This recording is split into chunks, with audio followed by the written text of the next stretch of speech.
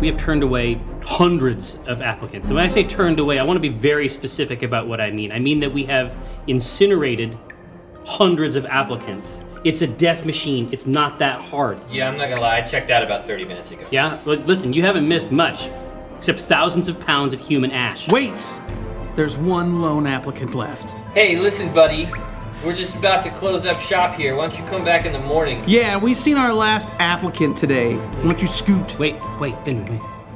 There's something different about this one. My name is Cathris Draub, and I'm finally here to take my place at the table of acquisitions. Whoa!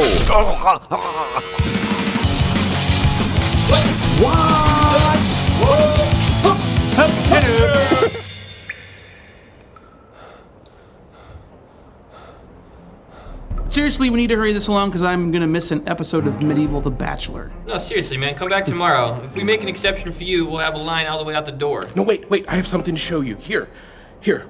Pick a card. You're gonna do magic to me? Yes, yes. All right. Show me what you got, kid. Is this your card? No. It's your credit card. Oh my god. Today you taught me that thievery is just another kind of magic. You're in. Yeah, we, everybody's learned a lot. Lights,